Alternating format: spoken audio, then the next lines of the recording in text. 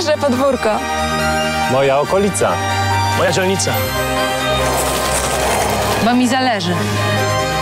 Każdy powód jest ważny. Wybory samorządowe 16 listopada.